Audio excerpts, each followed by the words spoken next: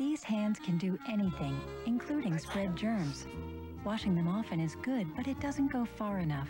Lysol spray with antibacterial action kills germs on surfaces, so you don't pick them up with your hands, and that helps reduce the spread of colds and infectious diarrhea. Lysol disinfectant spray. Keep your hands off germs.